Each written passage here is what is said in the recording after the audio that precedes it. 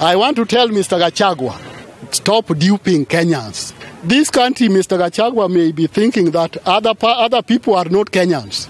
They are more Kenyans than the other. Mr. Gachagua, you must change. Hey, that octogenarian thinking style must now come to an end.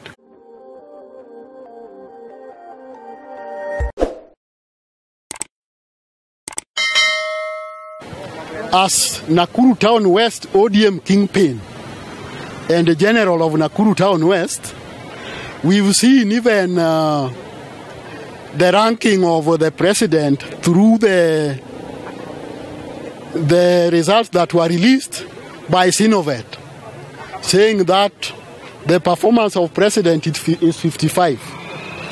The performance of deputy is uh, is 47. And on the same analysis, Kenyans are saying out of 65% that the government is headed in the wrong trajectory. It is not adding up because the person who is leading the government that Kenyans are dissatisfied with is none other than the President William Ruto. So if 65% have said that it is headed in the wrong direction, then what magic again can one say that it is at 55%? That to us is not adding up. The Kenyans had their desires for the government. And on the other hand, the government proposed what they were to do to Kenyans. Whatever they were to do to Kenyans to fulfill their promises, very few have been achieved. Like cost of living has skyrocketed, rocketed, employment opportunities, majority of Kenyans who elected Ruto are now flying the country to other countries to seek for job opportunities because the government cannot create jobs for the citizens. So to us, the country is headed to the wrong direction and what we are asking, let the government not hide in the sand. Let the government not hide in the sand. Kenyans have a, a, problem, a big problem, and I really sympathize with the people who are saying that the government is headed to the, the right direction. When people are leaving for other countries for job opportunities, when people are suffering, when people cannot meet basic needs, and here the person is saying the government is in order. The government would be in order if the life, the cost of living is down, but the cost of living is still high, and we are unable to make both ends meet. So to me, that analysis that was done was political. It wasn't the genuine position of what Kenyans think. Now, in the one year that we are rating the government, number one, let us take, for example, education sector. Majority of students cannot be able to even pay school fees because there is no money to pay. The cost of living cannot allow for even people to pay school fees. So, in the sector of education, we have a big problem. Number two, in the same sector of education, we want quality education and quality results. If you saw last year's performance, it was mad with irregular, irregularities. And as at now, we cannot distinguish who performed well and who did not perform well. Even when they were now interrogating the, the, the, the education sector, the members of parliament, while, while interrogating uh, the education sector, they found there was it was marred with massive irregularities, and therefore we cannot claim that the, the, the country has a good educational system. Number two, even the program of uh, choosing which student is more poorer than the other. To me, that is a scam because the board that is placed there to choose can be manipulated easily. One with money will just go to that board and say, I want you to take this my child to this poor background child. And from there, if he has money, those people will be minting millions of money at the expense of poor Kenyans because a poor person cannot get money to influence that board. Oh, that is on education sector. On uh, cost of living, I've seen uh, Deputy President Mr. Rigathi Gachagua normally says Kenyans got uh, cheaper fertilizer and therefore cost of living will now be down. I want to tell Mr. Gachagua, cost of living is not about uh, fertilizer. Cost of living is are you able to even meet the basic needs? Not everybody in Kenya is a farmer. In Kenya, we have engineers who operate as engineers. We have doctors who are not farmers. We have uh, lawyers and other people. So not everybody in Kenya is a farmer. And for you to tell us that because uh, fertilizer has come, now the cost of living is gone, has gone down, is a pure lie. Cost of living is do I have money to meet the basic needs? And as we speak, people's pockets are empty. There is no money to help them purchase what they need to, for their basic needs.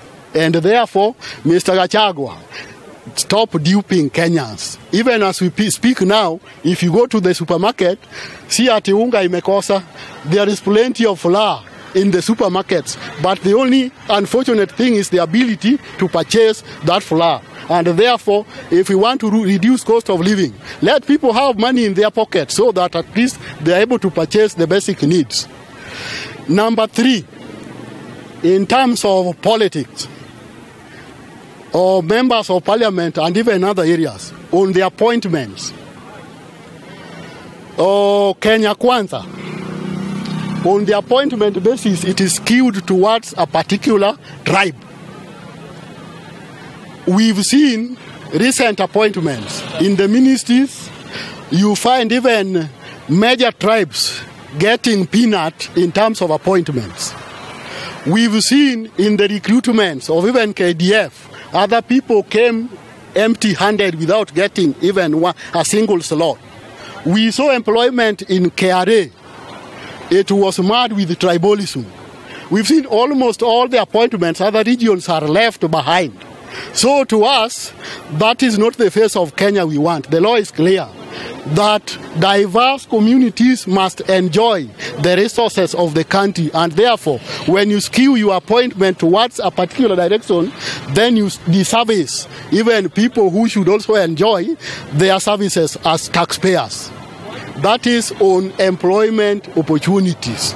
If i was to rate the government i would rather give them 25% or i would request president william ruto to be very sensitive on his leadership.